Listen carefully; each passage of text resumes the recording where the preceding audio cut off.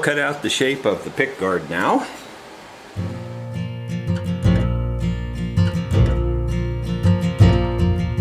You cut me.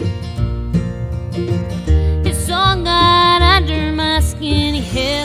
Thought I'd point out just a couple of things while we're here. You notice I had this large piece of wood underneath this as I was cutting this out, and you might say, why did you have that piece of wood there? Well, that gives me a zero kerf, or zero hole. There's a large hole uh, in this right here.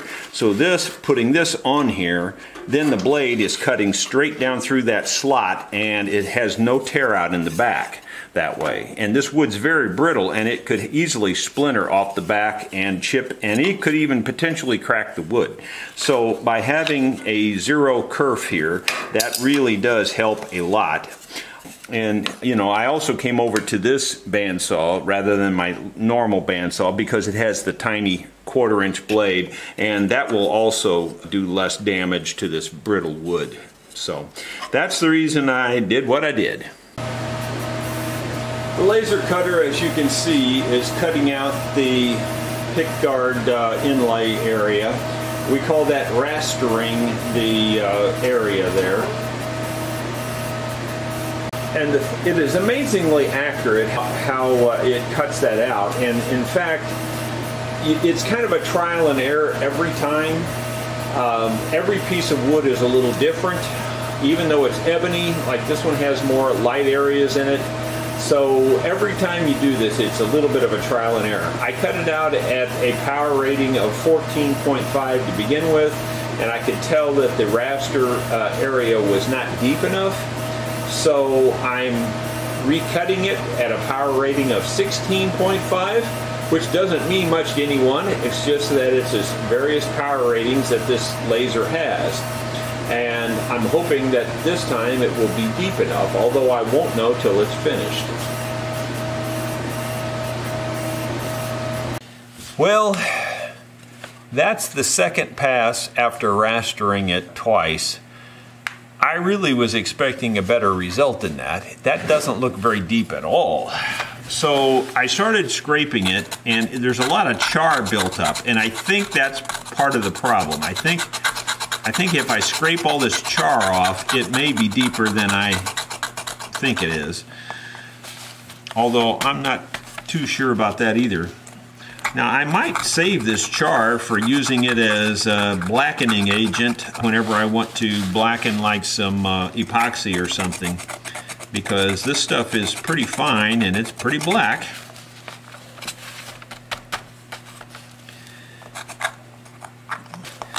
Not making me real happy because it doesn't seem to be very consistent. I don't remember having this specific problem the last time. Pretty much every time I use the laser cutter, it seems to be a little bit of a trial and error thing, and that's kind of sad because it's such a good tool. But this wood is so inconsistent, it's really hard to know what you're going to get each time. Well, it's not going to be real exciting watching me just chisel all that out, so I'll show you what it looks like after I get it all cleaned out.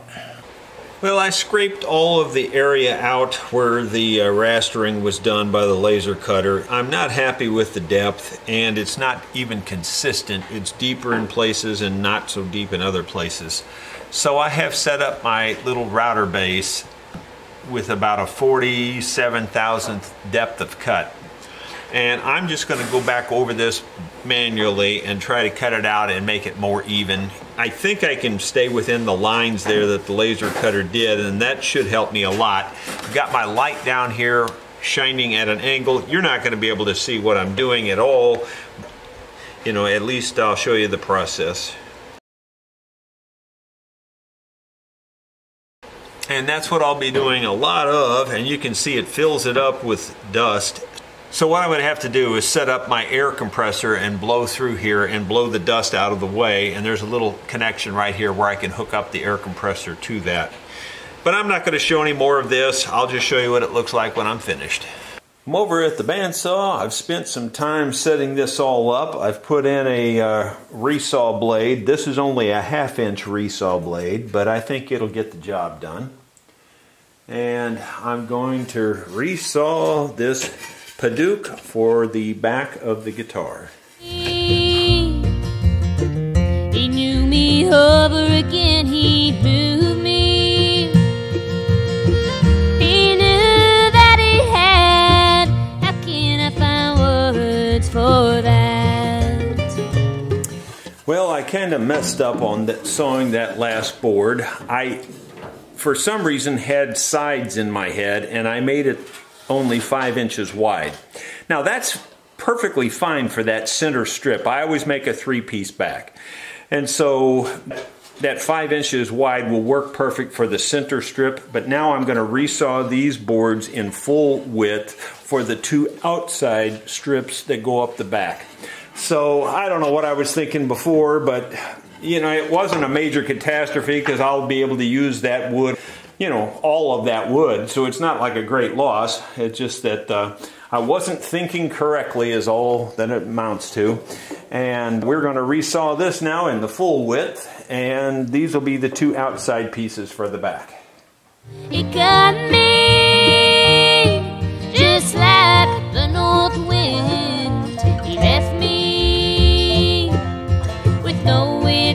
Begin. How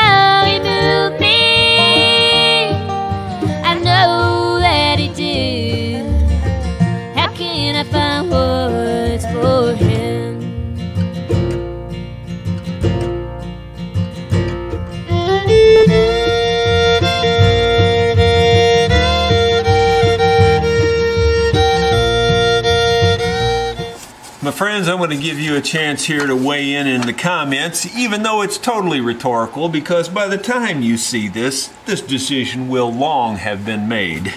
But anyway, so there's several options I can see on lining this up. Now, this is the V that will go down the middle of the back.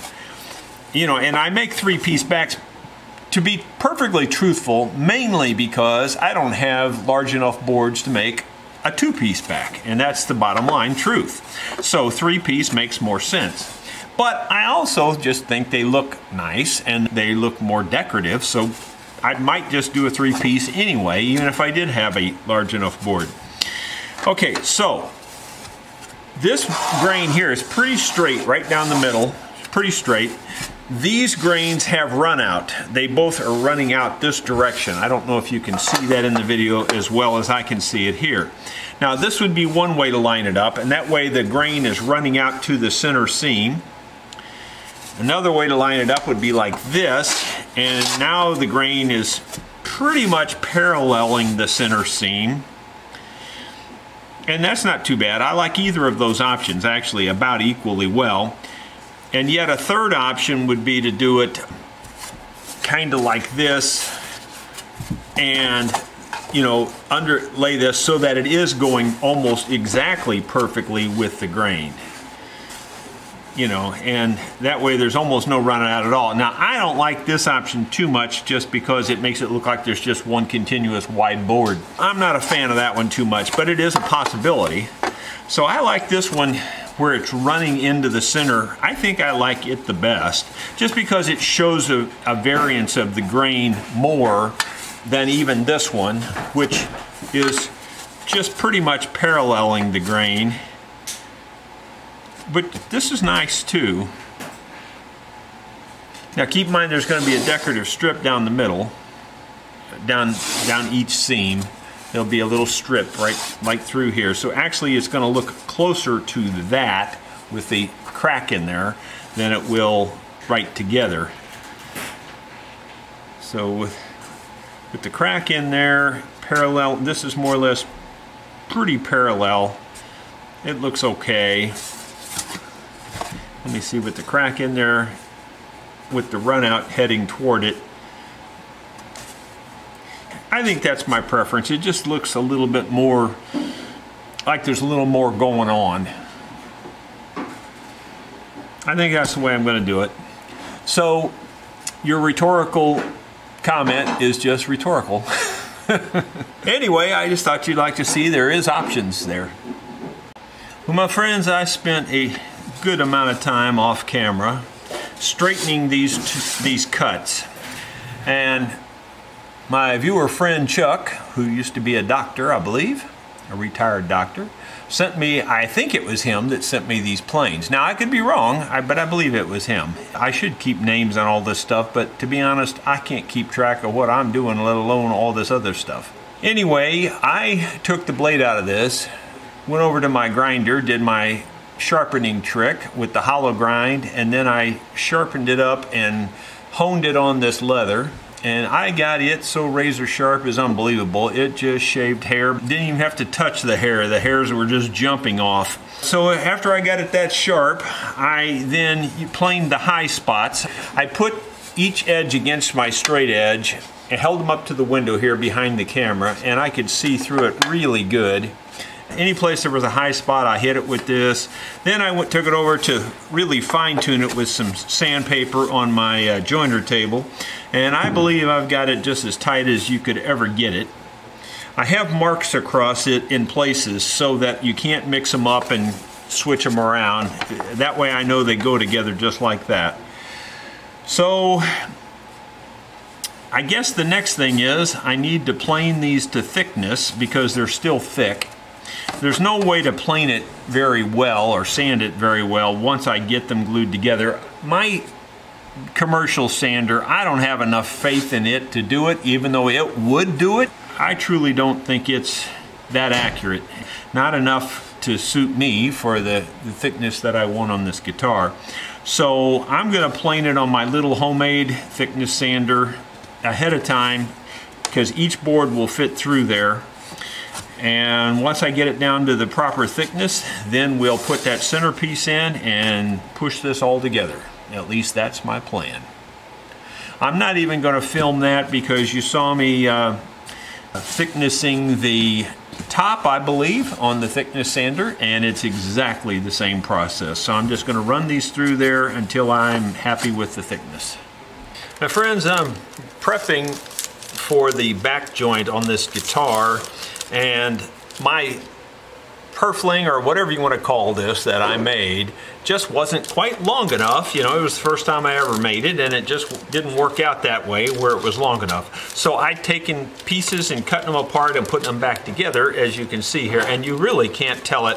I stagger these joints so that they are not straight across and then that way everything is staggered, you don't notice it. So I'm going to get the Titebond out and put Titebond on all the joints here. And on camera, every time I think the uh, glue will always refuse to come out. I think that's just what glue does.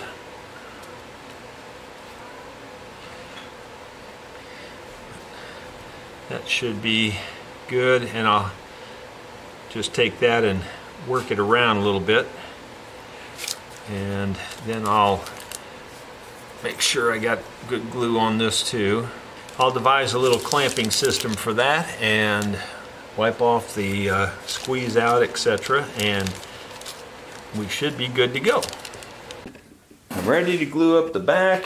Uh, this is going to be a very quick operation so I have this board clamped to my saw table I have this board clamped to my saw table and basically the back is a wedge so if you push them that direction they get tighter and tighter. So that's how I'm going to clamp it. It's just by pushing them forwards they will clamp themselves. But before I get that far, I have to get glue on all these surfaces, and there's more surface than, than there appears to be. There's one, two, three, four, five, six, seven, eight surfaces that have to be glued. Uh, it's just amazing on a three-piece back. But that's what has to be done because of these extra strips. So I'm going to get after it.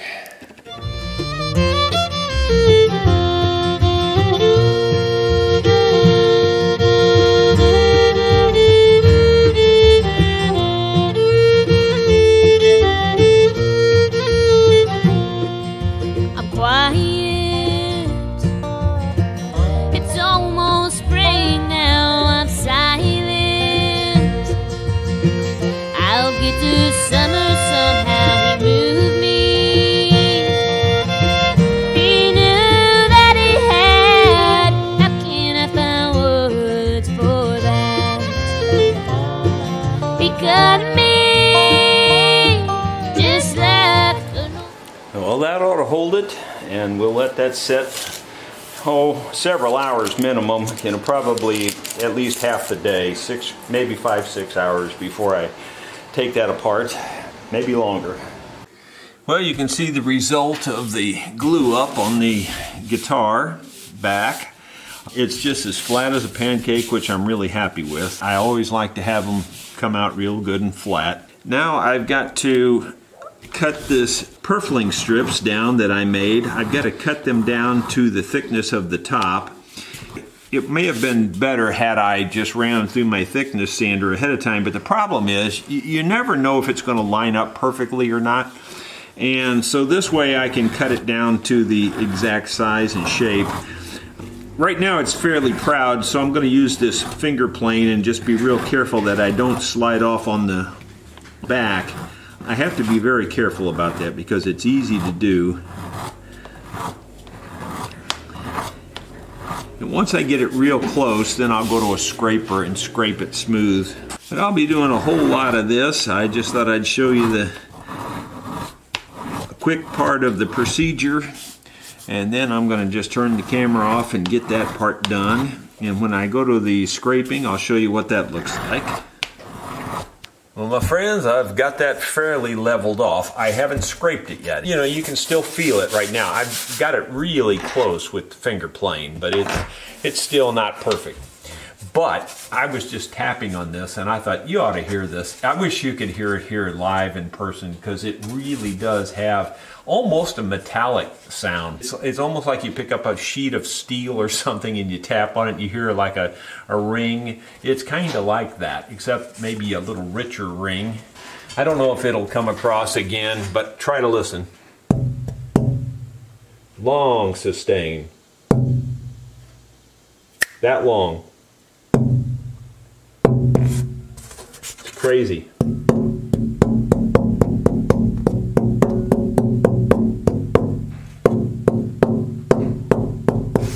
If you could put it right next to your ear, you would not believe the sound that's coming out of that. And that's what's cool. That's why I always say, you know, you can't just use any kind of wood you want for, to make an acoustic guitar. Now, you can, but you won't get the same kind of results as if you pick high quality soundboard type wood. Uh, now, granted, this is the back. You know, the top is the most important by far. It's you know, when you're comparing the top to the back, it's the 80 20 rule. The top is 80% more important than the back. But when you're comparing everything, you know, like this compared to, say, maple, this would be 80 20. This has 80% more sound than maple's going to have for like the back. So it's really important to select very high quality wood, and you won't find anything better than this right here, I can tell you. It's awesome. Now we're going to level it out just a little bit more. So on this, you know, I can use a multitude of scrapers. So I take a scraper like this. I can scrape it like so. I've got this scraper really sharp. And this will scrape It'll scrape everything. It'll scrape the uh, Padauk and it'll scrape the actual inlay strip as well and get them perfectly level.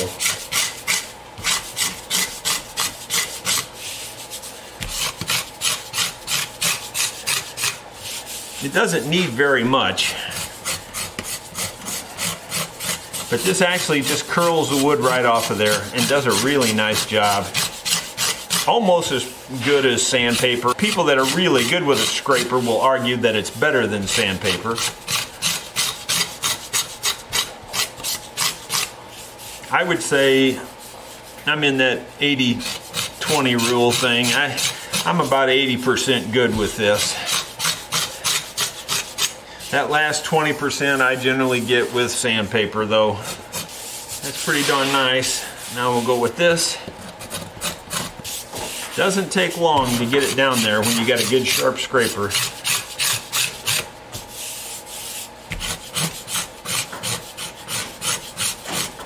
For those of you who are not familiar, the way I do it is I, I put this finger or maybe even two fingers on the top and then I can kind of control the height of the scraper by that. That way I'm not digging in really a whole lot with the scraper. I can control my depth.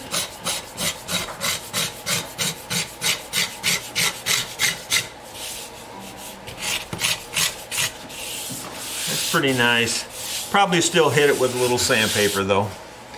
Now on the other side, even though it's it's real flat, but there was some glue squeeze out. So I'm just going to use the scraper to try to clean that up a little bit. Now keep in mind on the other side here, unless this cleans up even better, I will probably just put strips down through here as reinforcement anyway on the inside of the guitar.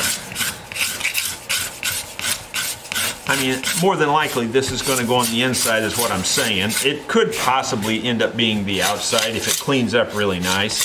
It just depends on what I think looks the best when I'm done. The Padauk really does change colors a lot, and the glue caused it to stain kind of a darker color, almost black. Maybe it's purple. I'm not sure what color it is, but it's dark anyway. It's looking good. Clean this one up a little bit, and then I'll hit them both with some sandpaper and try to clean it up a little bit more.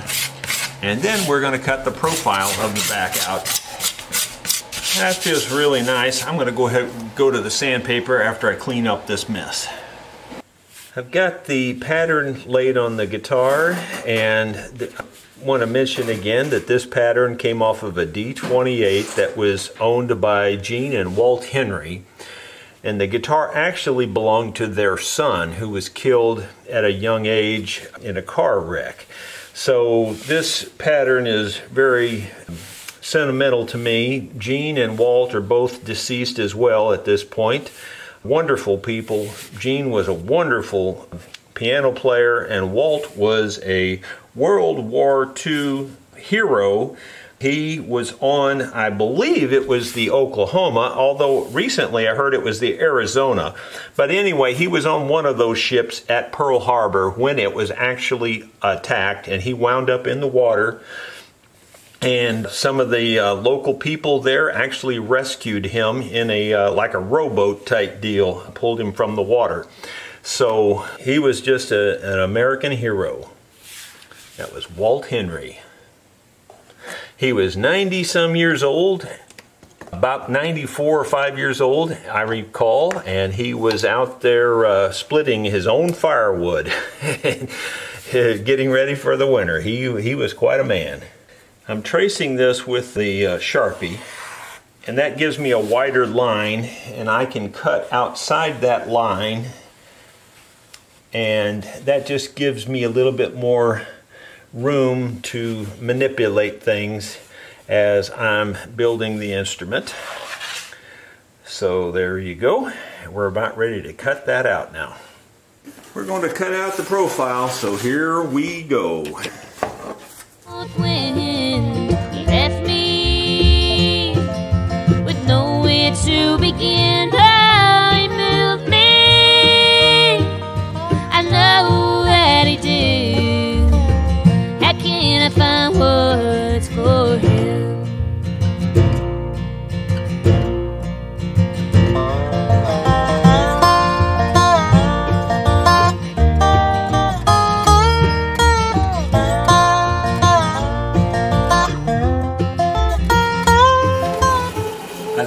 can see it turned out real nice. It's going to be a beautiful guitar. Well now we've got the sanding block out and we're going to attempt to get all the little details sanded out of this uh, back here where the uh, where you can't even feel this transition. That's what my goal is.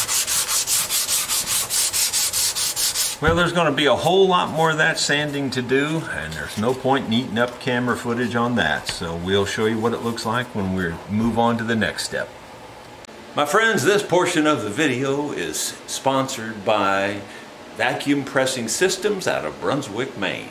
They have provided me with a vacuum system so that I can glue up things like these necks on these guitars and I'll turn the camera down here and show you what I'm doing. As you can see, I'm putting glue on these parts and this is the hardest part of the whole process is getting glue because I have a bunch of plies of wood. So basically I'm making a plywood neck and I'm using mahogany as the base main part.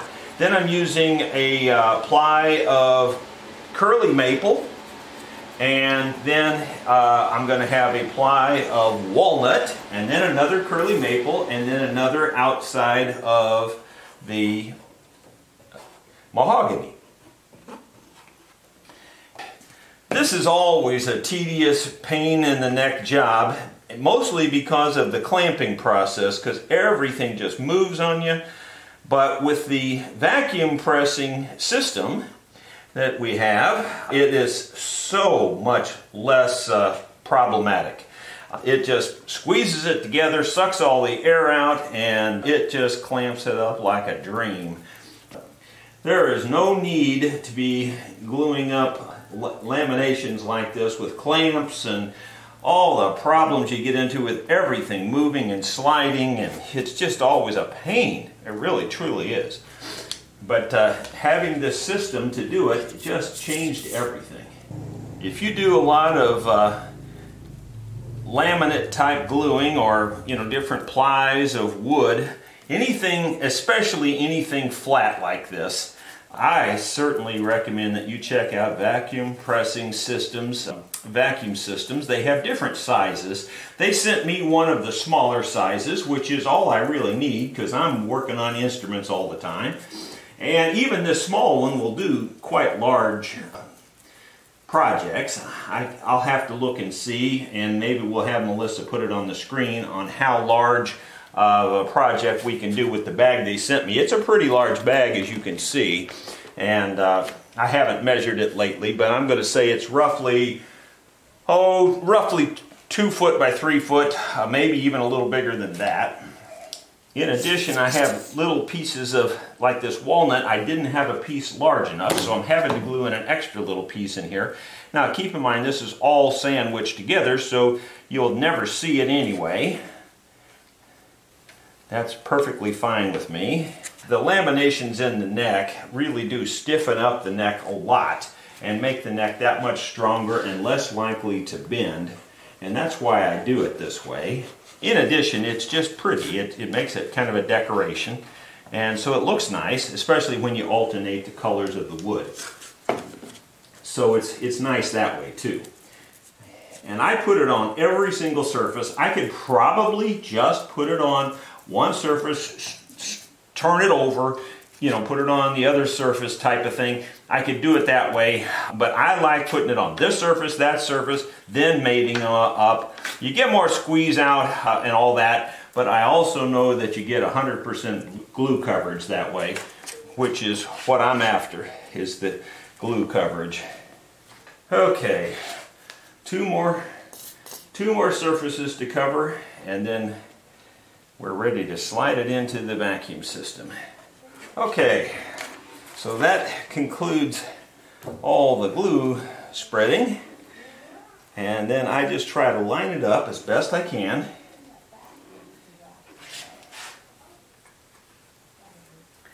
Once I get it lined up, then I'm going to put it inside this bag. And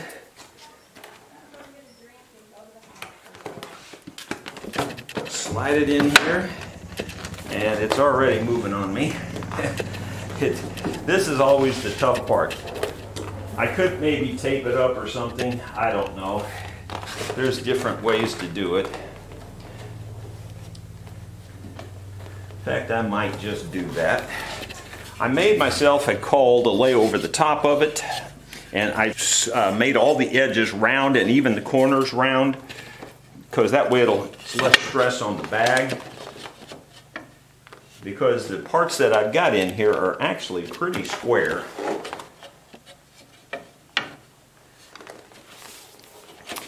I think I will just take a second and tape this up and I'll be back with you just in a few seconds. You can see I just taped the parts together like that. That made it just a little bit easier. Put the camera back a little bit so you could see that each end of the bag has a snap. I've slid this piece of plastic through here and I've snapped it into this and then we just slide this this is just a hollow piece of plastic that we slide over that and that seals the bag.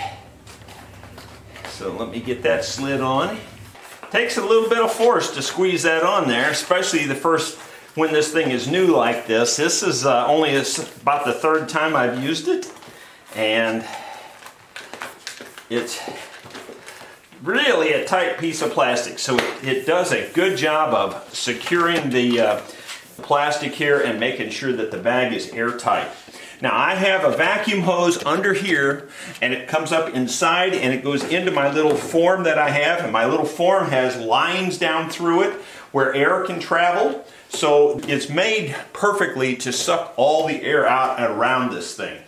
So it's sitting on that little form that has groove slots cut in it so that it will suck all of the air out of this bag really well. Now I'm going to turn on their system here and I just flip the switch and I'm going to turn it on auto uh, cycling. So it's going to suck all the air out of this thing here just in a few seconds. Takes it, a, it'll probably take it a minute. I'm just looking to make sure it's all lined up real good.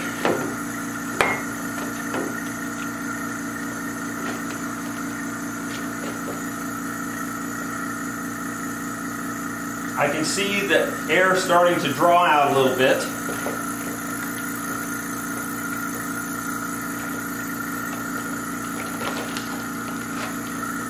having the tape on there does seem to help hold all those different plies a little bit better. Now it's really starting to suck down and you can start to hear it labor a little bit. But it's just about got all the air sucked out of there now.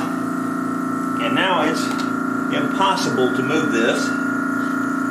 It's sucking it down to a, a, uh, negative 25 is about where it's at right now. I think it'll go somewhere about 26 or 7. I think I might actually open it back up. It seems like it slid just a tiny bit right here, and I'd like to straighten that up. So I think I'm just going to go ahead and turn it off, and then I'm going to let the air out of this for a second where I can move it again.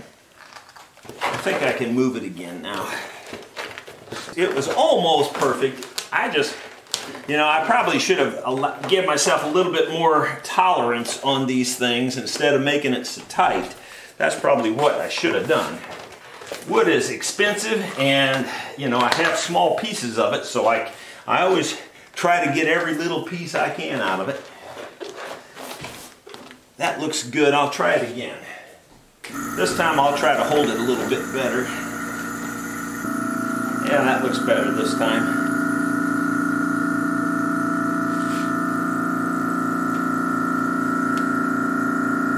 I think that's to work. We'll just let that sit up. I mean, seriously, once that thing gets its grip on there, you cannot move it. There's a little different view of it.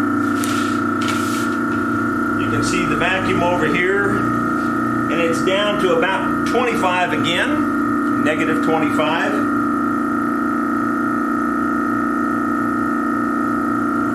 And uh, it will kick off and then it, as it needs to to keep the, the uh, suction it will kick back on automatically. It's about to kick off I think I can tell by the sound and that sure beats the heck out of putting all those clamps on there trying to line this thing up it's so much easier to line up this way and it puts a ton of pressure on this thing I'm amazed as hard as it's sucking that it doesn't suck the plastic hose shut. Well, it's running longer this time. I'm not exactly sure why. I would think that the seal is perfectly good.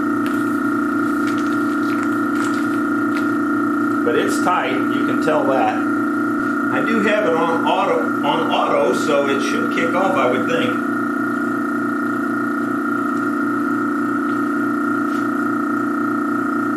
There may be a slight leak somewhere that I'm not aware of, but I don't know where it would be because everything sure seems tight. There it kicked off finally. Oop, kick back on.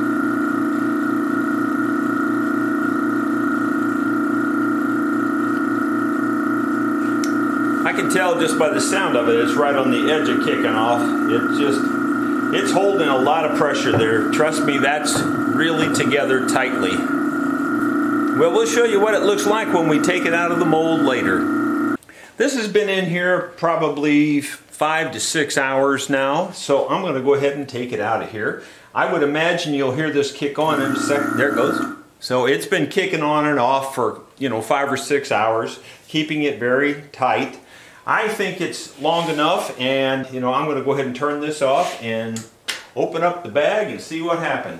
I think I can just take it loose back here maybe. Yeah, that works. That's the easy way to do it. Just take it loose back there at the back of the machine.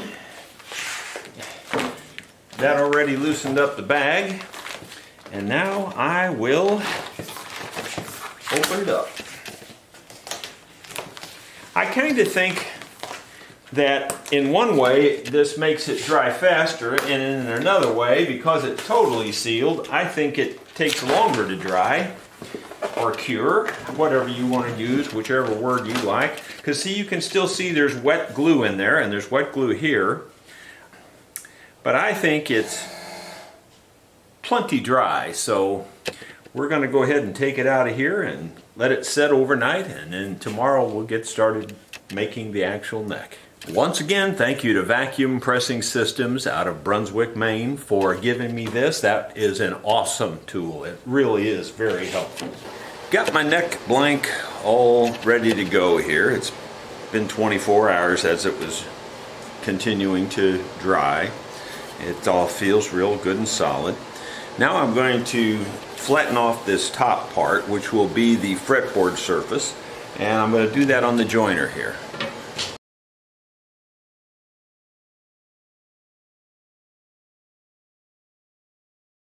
Now that I've got my fretboard surface flattened out and trued up, I can use that as my reference point for tracing the pattern of the neck. And mostly I just use this pattern to mark the corners and then I use the straight edge to draw the rest of it. So now we should be able to cut out that profile over on the bandsaw.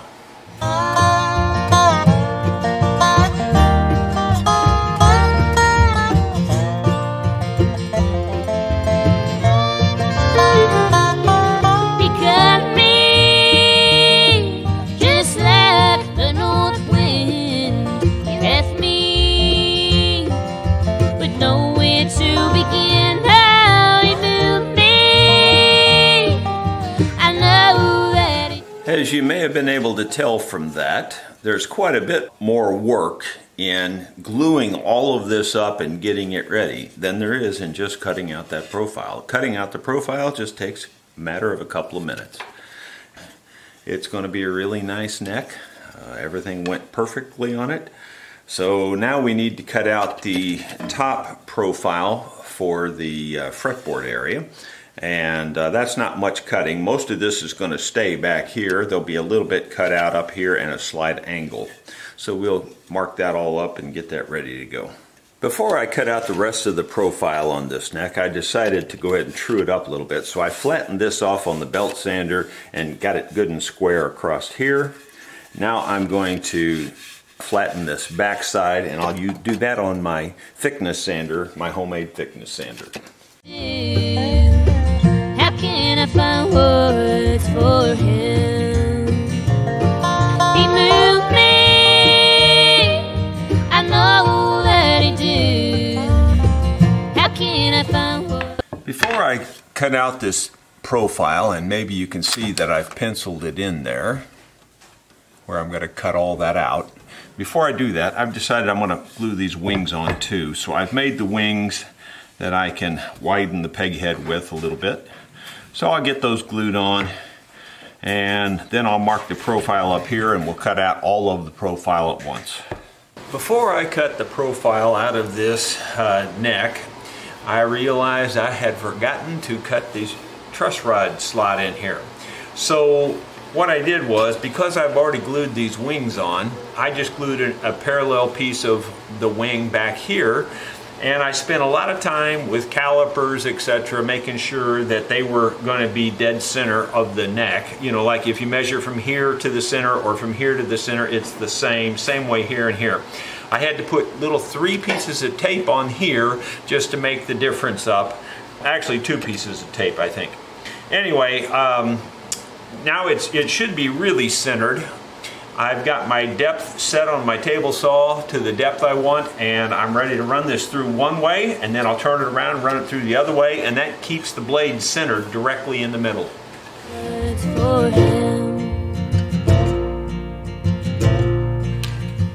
We're now going to try to profile this neck.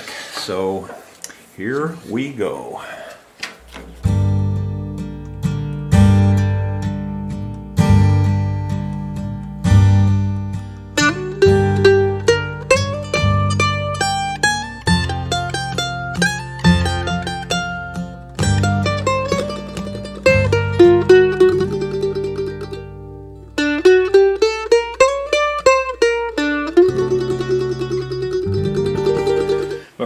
I'm going to route the dovetail on the end of this guitar neck before I go any further. I've got the router set up with a dovetailing bit on here. And I'm going to do it freehand. I've done it that way a few times in the past and it seems to work easy and fast for me. So that's the way I'm going to do it. Your results might vary.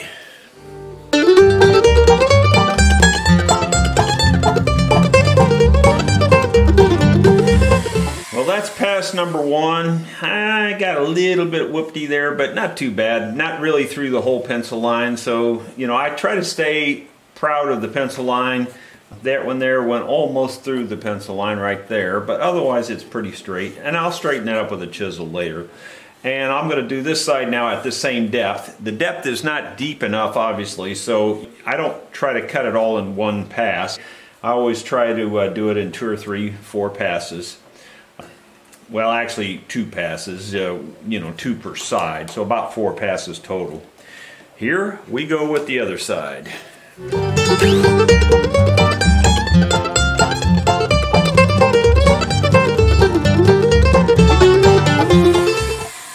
Alright, so now I'm going to drop it down to the full depth and cut it again.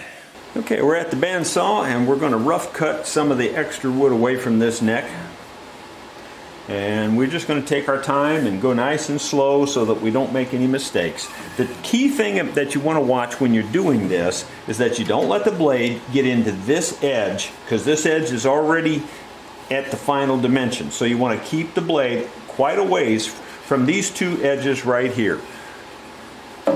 As long as you do that, you should be okay.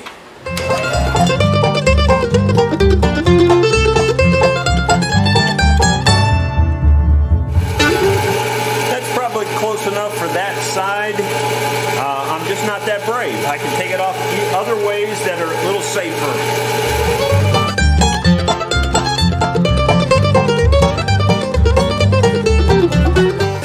There you go. That's uh, just a roughed out. You know, I'm sure I could cut more away from that, but then again, you're just taking a risk, and there's no reason to take that risk because there's other ways you can cut this very, very easily. Plus this, being mahogany, it's fairly soft anyway, so just using rasps, you can carve this down in no time with just a rasp. I'm going to start the carving with just a big heavy rasp, and this is a pretty rough rasp. If the camera will focus, there it goes. So it's pretty rough. And, you know, it's pretty aggressive, but it doesn't take long to get rid of a lot of wood with this. For the most part, I use the round side of the rasp. You can turn the flat side over on these longer spots.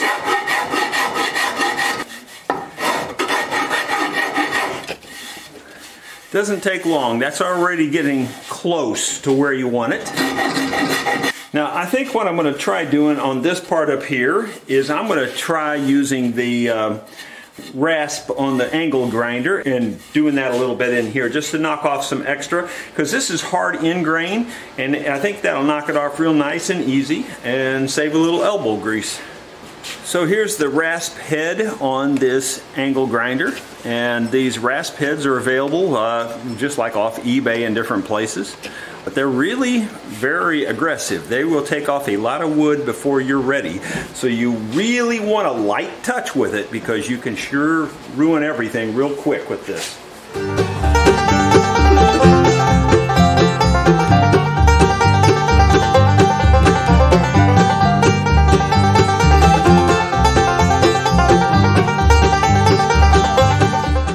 I can't recall the last time I tapped on this for you, but I was just tapping on it a moment ago here in the shop, and it's so impressive that I, am going to tap it for you again. Hopefully, this bell ring. I mean, it sounds like a metallic bell, seriously.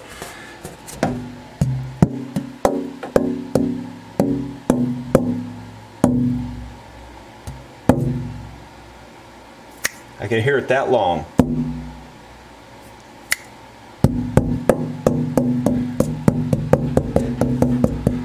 On where I tap on it, you know, you get a slightly different sound, but pretty much it's, for the most part, it's one consistent ring. It's really got the ring. It's got to be one of the most resonant backs I've ever heard. Although this Padauk, it never disappoints. It's always very, very good. If the truth be told, every time I build a back, I kind of more or less guess at the radius based on plans and different things that I have. I decided to just make myself a radius jig and that's what I did. This is based on a 15 foot radius and it's you know nice and smooth. It's got a nice even arc to it. I can just center this on the brace now then you know more or less center it like that and then take the ends and just make sure they're equal, you know, amount of space, and then just draw the radius on it. And it just saves a lot of time and trouble. I don't know why I didn't do this years ago. But you live and you learn. You get smarter, hopefully, as you get older and you make things a little easier on yourself.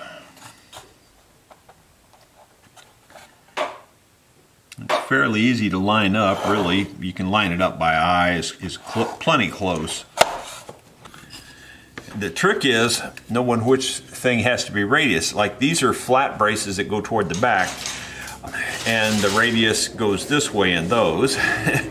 these are skinnier braces that go toward the front, and the radius goes through the, the uh, thicker part of these. So, you know, it's just paying attention to what you're doing, that's all.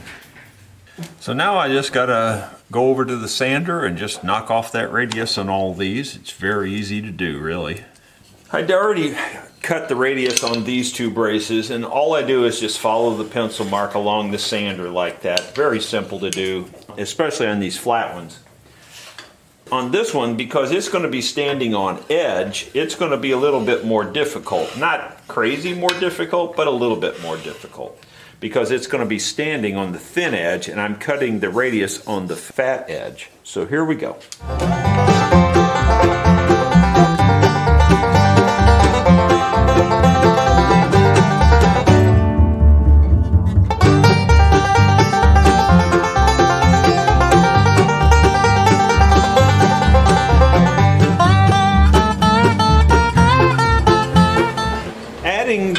Of this square on the back side really does help. You know, I thought of doing that before I started, but then after I got into it, I thought, you know, I really do need something to keep it more square, especially on these, you know, on these skinny edges like that. And that really works great. Not only that, but it, it keeps your hand away and you can use it to press as well. So that's a really good little trick right there. I've just got one more to do and it should be fairly simple now that I've learned that with the square. I'm going to clean off the sandpaper and then we'll get going.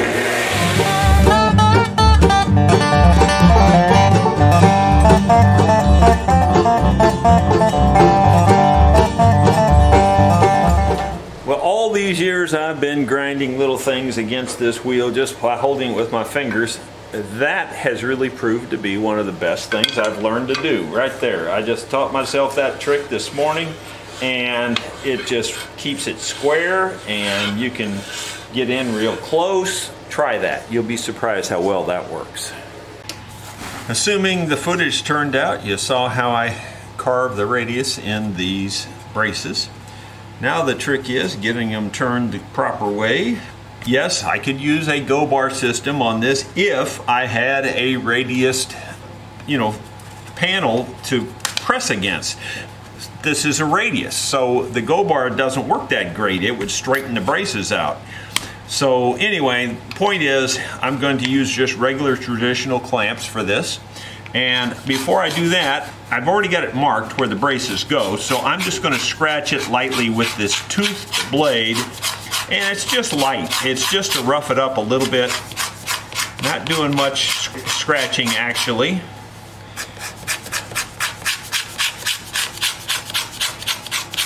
And I'll go ahead and scratch all those places and then I'll show you the next step. Now that I've got all those spots toothed up just a little bit with that blade, I'm going to go ahead and, and just take a little bit of acetone on a cloth and wipe it right, right across the place where these are going. Just as you can see, it, it picks up a lot of stuff very quickly. Just, I'm just going to do a light wiping there. And hopefully I didn't wipe off all my pencil marks.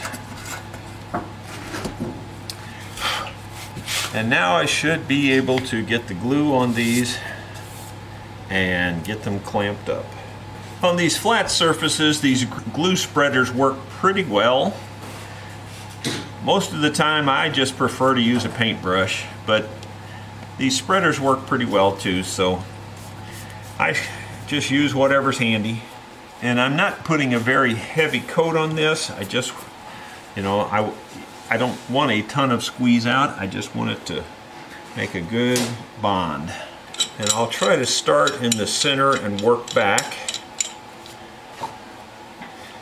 The worst part of this is you really do want to have leather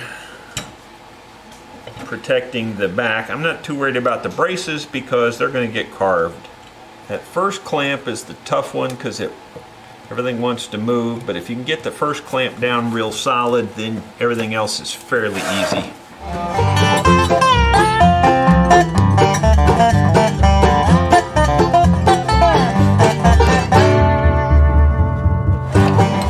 This is the kind of thing you can't really get too many clamps on.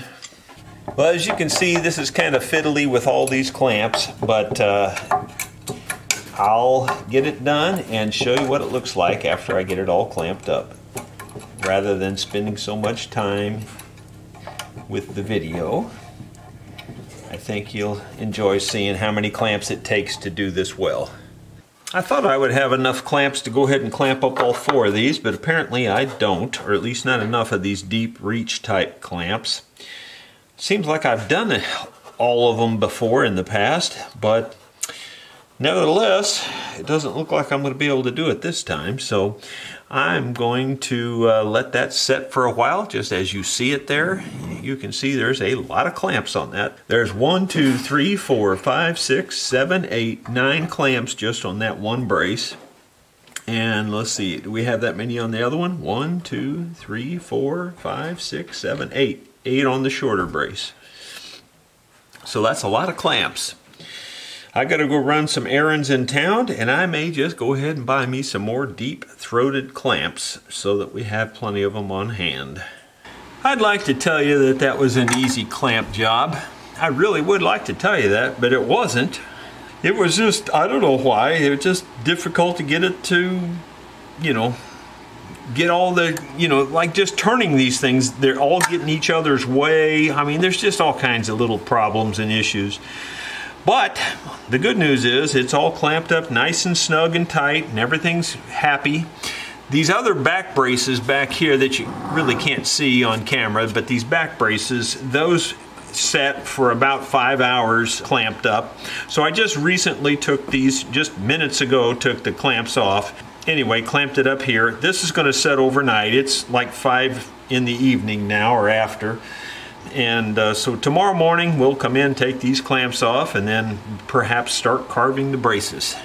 All the braces have been sitting overnight. They're all glued in, they're all squared off, they're not carved yet. But I like to tap on this thing to hear what the difference is in the sound. Oh my goodness, it's like an amplifier now. Listen to it now. It, it really sounds metallic.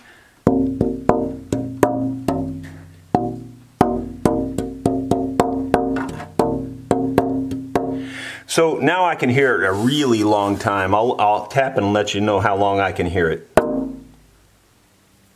About that long. About that long. It's really vibrating really well.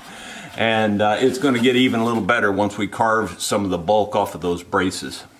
We're about ready to start that process, so here we go. So I got my trusty little finger plane and for the most part, especially these two back braces, you just kind of dome them over. You want them to stay strong, but you want to get rid of weight and bulk.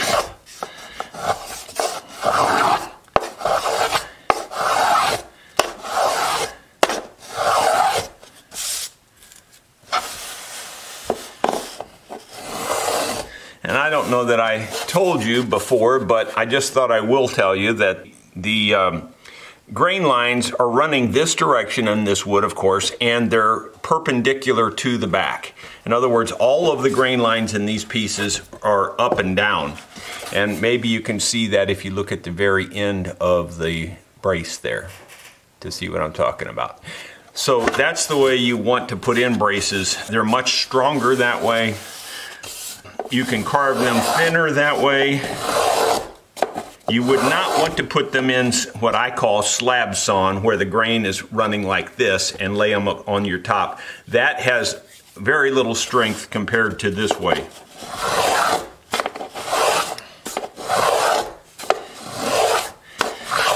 Well, this is going to take me a little while, and again, I'm not going to eat up a lot of footage with it, so you can see the process. You just keep carving until you're happy, basically, and I'll show you what it looks like when I'm happy.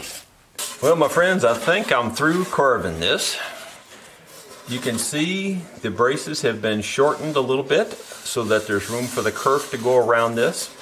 I do not use the theory of running the braces all the way through the kerf. I don't do it that way. I have my braces stop at the kerf. And there's two or three reasons I do it that way. People will disagree, and that's okay. My belief is, first of all, it's just easier. Easy is always good to me. So, in other words, you know, if you just shorten them like that, then you don't have to cut out notches in your kerf and all that kind of thing. That's reason number one. So it's just easier. Reason number two is I think you get a better joint because you're not having to notch it all out. So you get a more smooth attachment point all the way around. That's reason number two, which is minor, I'll admit. And reason number three is the important one, in my opinion. And that is these braces are shorter, they're a little lighter, they're probably a little thinner and this keeps the braces away from the sides and lets the braces then have the freedom to vibrate with the top and move. If these braces are on the sides, then they don't get to vibrate as much. The sides are holding them still. You know, in my this is my theory. I can't prove it. It's just a common sense theory. In other words, now these braces are not supported by the sides, and some people say that's why you want to do it. You want the back supported. I feel they're plenty strong. And I feel the connection all the way around here with the kerf makes it plenty strong. And this allows it yet to vibrate better. That's my theory. I'm sticking to it. I have no way to really prove any of that. It just seems to make good common sense to me. And you know about the strength thing, I've never had a problem. I've been building them for roughly 40 years. I haven't had any of them come apart, so or you know have problems at you know like that. So you know, I know 40 years isn't 100 years, but hey, it's a good start, and I haven't had any problems. So, the sound of this is really nice. It's toned down now, it's come down in pitch. It's a deeper sound. It sounds a little more like uh, tapping on the side of a big metal drum or something. And it's a real long sustain. So, like that long. About that long. So it's a, a real good long sustain. It's got a real good sound.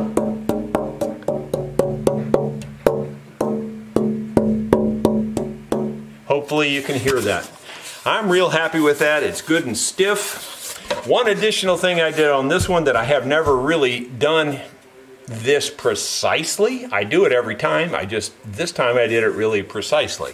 And that is, I laid this on the braces and I carved the, the uh, braces to, on the inside to match this curve as well. So this, the whole guitar has this curve and these braces are also carved to that specific curve. so in effect, lightly, these braces are scalloped on the back as well as they will be on the top. Everything you can do to kind of lighten them up, yet keep them strong, is a good idea in my opinion. I feel like this back is incredibly strong. I don't think there's going to be any problem with it whatsoever, yet it still vibrates really well. I don't think there's any problem whatsoever right there. I'm looking forward to putting this on.